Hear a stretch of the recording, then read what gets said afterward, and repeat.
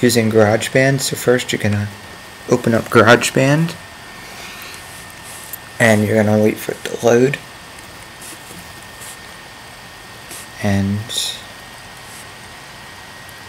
once it loads, you're gonna double click on voice and you're gonna name it auto tune. Doesn't matter what you name it. You can name it anything you want. So you're going to wait for it to open. And it'll open.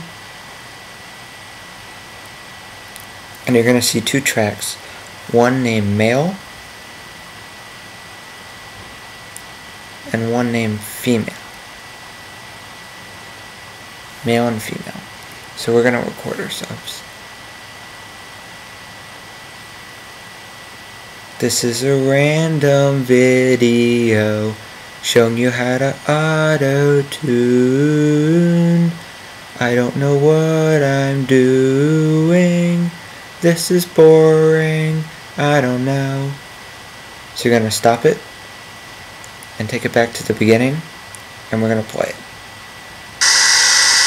This is a random video showing you how to auto tune. I don't know what I'm doing. This is boring. I don't know.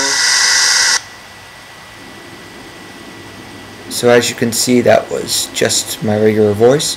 Now you're going to go down here to this little scissory cut thing and you're going to slide over automatic tuning to 100 and check limit to key and then you're going to double click here Okay, and we're going to play it once more.